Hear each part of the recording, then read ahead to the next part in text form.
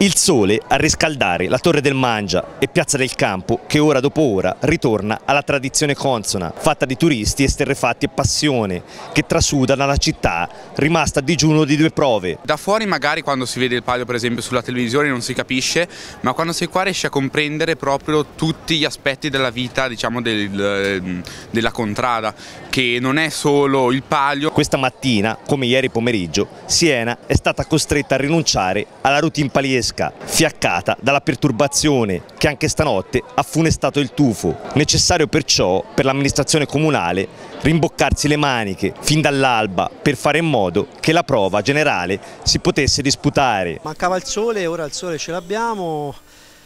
I ragazzi è una squadra veramente di persone splendide, hanno lavorato tutta la mattina e stanno lavorando anche ora, quindi cerchiamo di mettere la pista nelle condizioni migliori per poter correre stasera in maniera tale che si possa fare la prova generale in maniera ordinaria, che ci possa essere l'uscita del drappello dei carabinieri a cavallo come è consuetudine come di solito, un appuntamento importante, quindi stiamo lavorando per cercare di ottenere questo risultato. Per la gioia di una comunità pronta ad abbeverarsi alla festa dopo un anno di attesa e dei turisti che dopo l'incertezza delle ultime ore possono vedere di nuovo il canapé tirato. Clima come sempre stupendo, emozionante direi, eh, tutti